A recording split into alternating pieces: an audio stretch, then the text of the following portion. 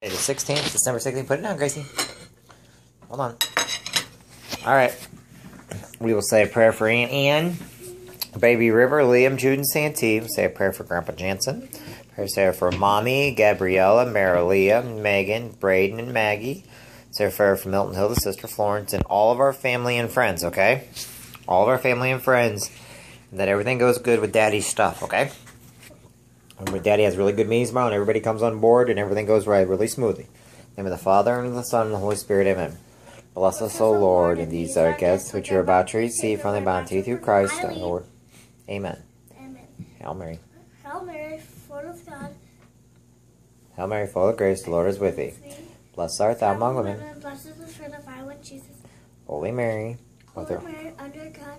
pray for us sinners, now at the hour of our death. Amen. In the Father, and the Son, and the Holy Spirit, amen. Praise Jesus Christ, now and forever. Amen.